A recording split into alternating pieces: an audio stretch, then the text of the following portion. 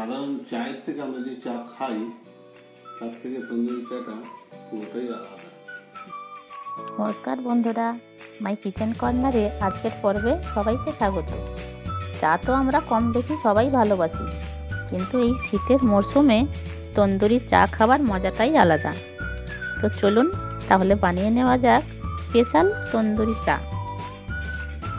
তার জন্য এই রকম একটা মাটির ভাঁড় নিতে হবে। এটাকে আমি ভালো করে জল দিয়ে পরিষ্কার করে ধুয়ে তারপর শুকনো কাপড় দিয়ে মুছে রেখে দিয়েছিলাম। এবার গ্যাসে বসিয়ে এটা গরম করে নেব। তার জন্য গ্যাস অন করে বসিয়ে দিয়েছি। এক পাশে এটা গরম হোক, অন্য পাশে চাটা বানিয়ে নিচ্ছি। তার জন্য এক কাপ জল নিয়ে সসপ্যানে বসিয়ে দিয়েছি। গরম করার জন্য। এবার থেতো করা আদা আর এলা, ছোটো এলাচ এতে দিয়ে দেব।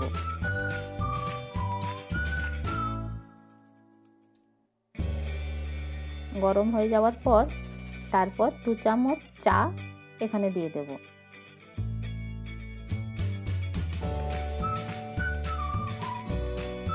মাটির ভাতটা ঘুরিয়ে ফিরিয়ে গরম করতে হবে। এখানে একটা জালের ওপরে আমি মাটির ভাতটা বসিয়েছি। মাটির ভাতটা না হলে গড়িয়ে পড়ে যাচ্ছিল। এবার চাটা ফুটতে আরম্ভ করলে দু কাপ দুধ দিয়ে দিলাম এখানে।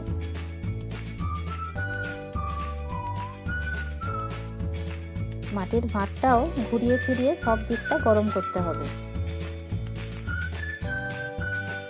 এই মাটির ভাতটা যেখান যে দোকানে মাটির জিনিস পাওয়া যায়, যেমন মাটির হাঁড়ি, কলসি, জ্বালা বা দশকর্মার দোকানেও সহজে পাওয়া যাবে।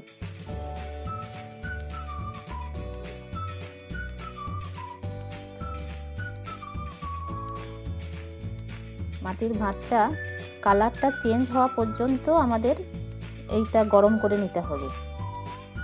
আর যতক্ষণ এই চাটা হচ্ছে ততক্ষণই আমাকে মাটির ভাতটা গরম করে যেতে হবে। মাটির ভাতটা উল্টো করেও গরম করে নিতে হবে। চা মোটামুটি হয়ে এসেছে। এখানে দু চামচ চিনি দিয়ে দিলাম। তারপর চাটা ফুটে উঠলেই নামিয়ে নিতে হবে। তার আগে মাটির ভাতটা আমাকে একটা বড় একটা বাটিতে রেখে রেখে দিতে হবে।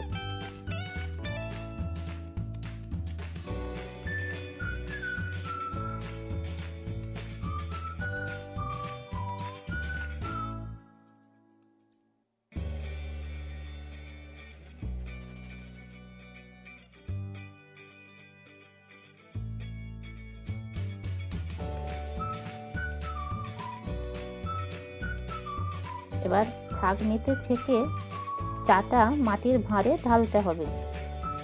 দেখুন কেমন ফুটতে ফুটতে ওপর দিকে উঠে আসছে। খুব সাবধানে ঢালতে হবে, খুব গরম আছে।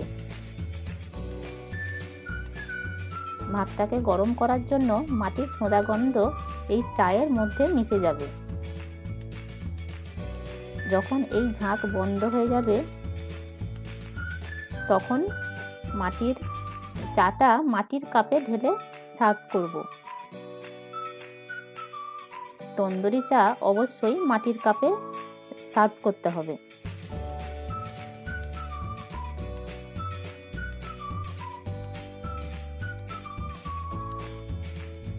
আমি এখানে দু কাপ মাটির কাপ নিয়েছি, কারণ আমরা দুজন এই চা খাব। দেখুন, এখন রেডি হয়ে গেছে। আমাদের তন্দুরি চা। এখন আমি খেয়ে দেখছি কেমন হয়েছে এই চা।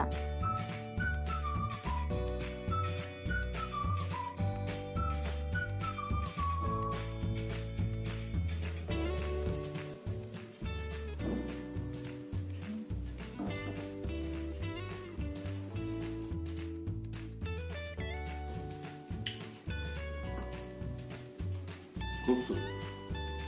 এই স্মোকি ফ্লেভারটা দারুণ লাগছে। তবে এমনি সাধারণ চায়ের থেকে আমরা যে চা খাই তার থেকে তন্দুরি চাটা পুরোটাই আলাদা। একটা আলাদা ফ্লেভারটা খুব সুন্দর এসেছে। খুব সুন্দর। আহ